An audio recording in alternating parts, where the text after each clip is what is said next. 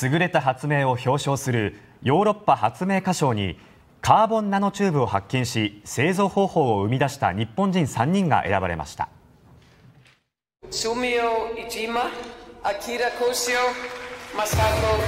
日本人の名前が呼ばれました、えー、見事日本チームが受賞を果たしました。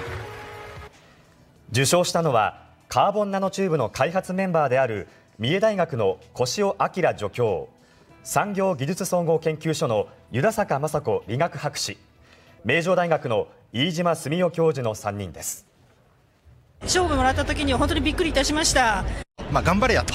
言われてるんだなと思いまして頑張ろうと思います。夢の素材と言われるカーボンナノチューブは重さがアルミニウムの半分と軽いにもかかわらず強度は鋼鉄より強いなどの特徴があり今後産業へのさまざまな応用が期待されています